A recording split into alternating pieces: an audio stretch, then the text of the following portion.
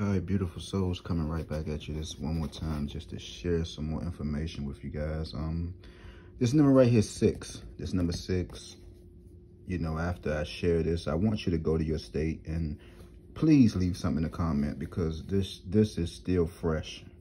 If you just had 414 in your state or 964, please leave something in the comment because I'm not going to go to nobody's state and and view anything I want you to do it yourself so you can see what I'm talking about. I'm, I'm going to give you, I'm going to explain to you what I'm saying, but I want you to go to your state and um, follow, up, you know, just try to see is this pattern moving in your state, guys. It'll be fun.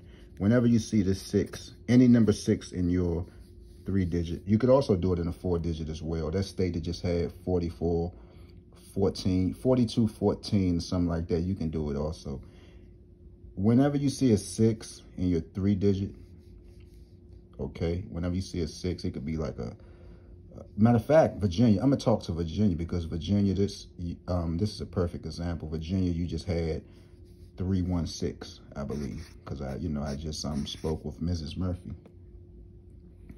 All right, so say that you saw 316 in your state. And this number right here, when you see it, whenever you see a six, whether it's a day after, whether it's before.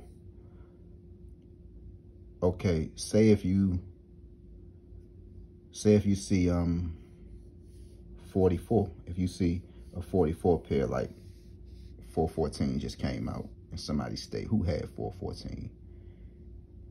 It's either you seen a six before or after, before or after this all right? If you had 414 in your state, basically, basically go to your state and see that you see any six in any of your drawings, all right? Because we we trying to get somewhere, and I want you to help me out. You have to leave some in the comment, guys, so I can try to coach you through it as well.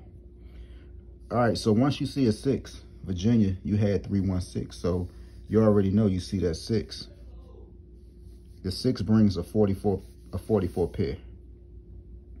Here's the cool part to this. You already have four, four, two fours, so can't do nothing but go here. You locked in.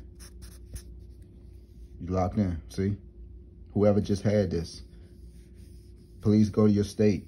I mean, please go to your number history and see that you have any number six consist consistent in your three digits, see? Because once you see a six, you're going to go here. This is all you're going to get, guys. You're going to run the whole 42, 43. You're going to run that whole set. You don't have to run it, but these are some numbers that's going to blow your way, all right?